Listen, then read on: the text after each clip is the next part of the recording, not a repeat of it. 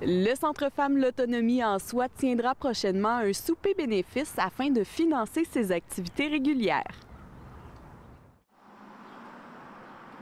La mission du Centre de femmes, de tous les centres de femmes, en fait, c'est d'aider les femmes à devenir plus autonomes, à, euh, à, faire de l'éducation populaire, à les supporter dans leur démarche, euh, à leur donner de l'information, à les référer à des organismes qui peuvent les aider dans leurs euh, problématiques, n'importe quelle problématique. Il n'y a pas juste des femmes défavorisées qui viennent ici. C'est toutes sortes de femmes. Les femmes, en majorité, viennent pour une, la problématique la plus importante, c'est la solitude.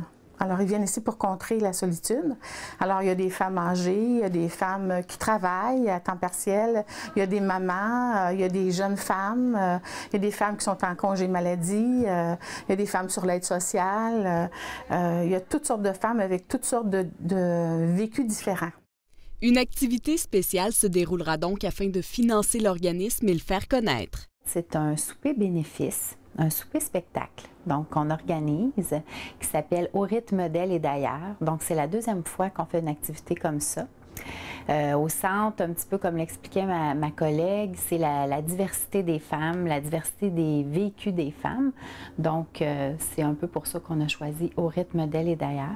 Et puis, euh, il va avoir cette année, c'est le Moyen-Orient. Donc, il va y avoir un menu spécial avec du couscous, poulet au citron. Donc vraiment euh, la bonne cuisine du Moyen-Orient à découvrir et aussi un spectacle de baladie. Depuis quelques années, vraiment, on sent une augmentation de participation. Le centre est de plus en plus connu.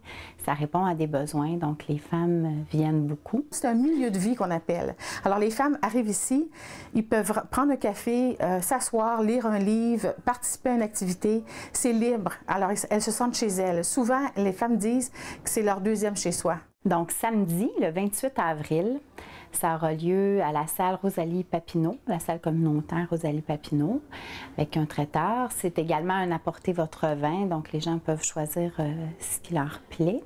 C'est à 17h30.